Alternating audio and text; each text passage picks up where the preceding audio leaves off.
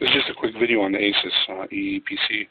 Um, if you're like me and you're not too happy with the cramped desktop space with all your uh, your icons being so big, regular, um, you can just, without using any themes or resolution uh, effects, you can just uh, put your system properties on the screen, put appearance, then advanced, and then advanced uh, dialog, just select icon select icon, and then you'll you'll be on the uh, the advanced appearance dialog box. I put my uh, icon size down to uh, 24 and my font size at 7.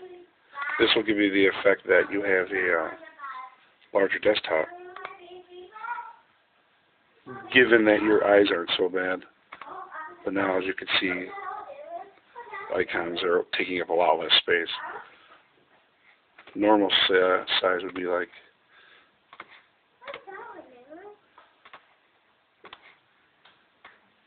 would be this.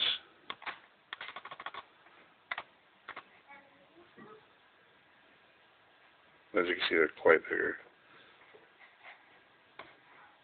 Right here.